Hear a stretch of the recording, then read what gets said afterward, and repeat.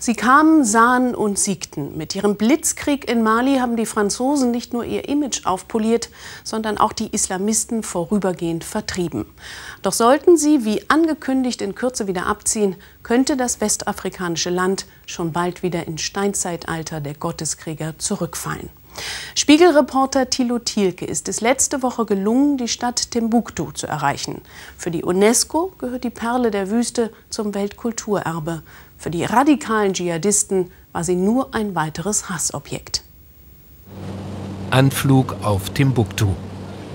Die Maschine eines Buschpiloten ist unsere einzige Chance, die Stadt zu erreichen. Der Weg durch die Wüste vorbei an den Islamisten wäre zu gefährlich. Seit zwei Wochen wird Timbuktu von französischen Truppen gesichert. Bewacht wird eine Geisterstadt. Die meisten Bewohner sind geflohen. Die eine Hälfte vor den Terroristen, die andere vor den Franzosen. Wir fahren jetzt hier durch äh, Timbuktu und gucken uns mal an, welche Schäden angerichtet wurden während dieser zehnmonatigen Islamistenherrschaft, aber auch während der äh, ausgelöst durch die französischen Angriffe. Man kann sehen, die Straßen sind menschenleer, es ist wenig los hier. Viele Bewohner sind geflüchtet. Fast ein Jahr war Timbuktu in der Hand der Gotteskrieger. Sie quälten die Menschen, schändeten deren Kultur und machten selbst vor den Toten nicht Halt. Ein ehemaliger Touristenführer zeigt uns die Folgen. Das ist also der Friedhof hier. Ja, das ist der Friedhof. Es ist ein jämmerlicher Anblick. Jahrhundertelang war der Friedhof der Wüstenoase ein heiliger Ort. Doch für die radikalen, Al-Qaida nahestehenden Islamisten war es nicht mehr als ein Schandfleck. Entsprechend groß war ihre Zerstörungswut. Diese Tür hier wurde von den Dschihadisten zerstört.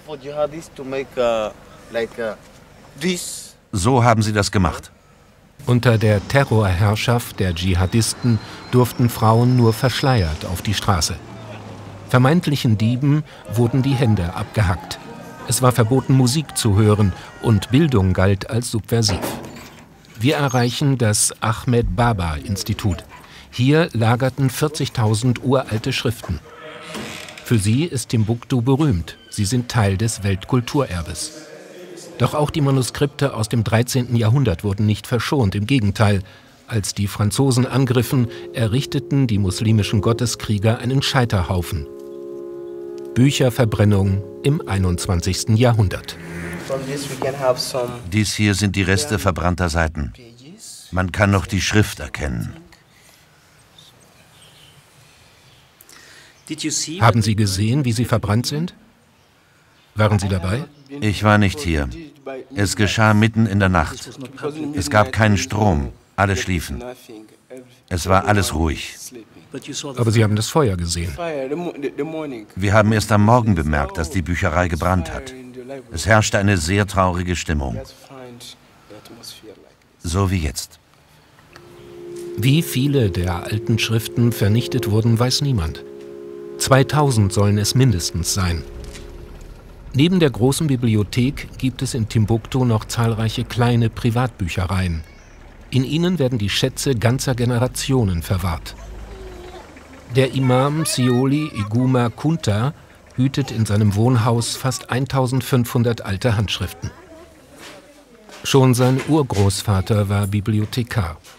Immer wieder kamen Studenten zu dem alten Mann, um in den philosophischen Werken zu lesen.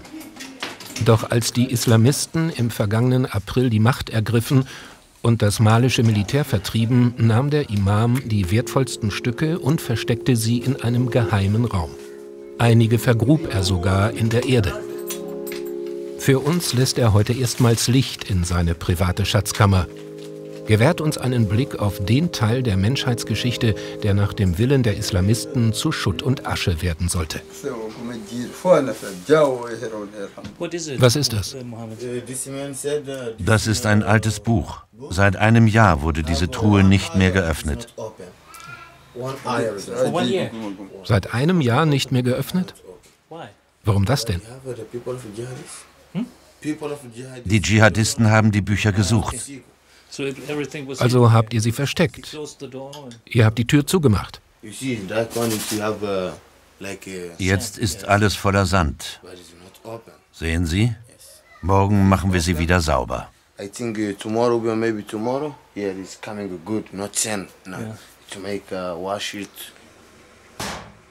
Imam Kunta hat einen Teil des Weltkulturerbes gerettet. So wie viele andere Menschen in Timbuktu auch. Zehntausende von Schriften konnten so gerettet werden. In der Stadt wird seit kurzem wieder Fußball gespielt und anschließend gebetet, dass die Islamisten nicht zurückkommen.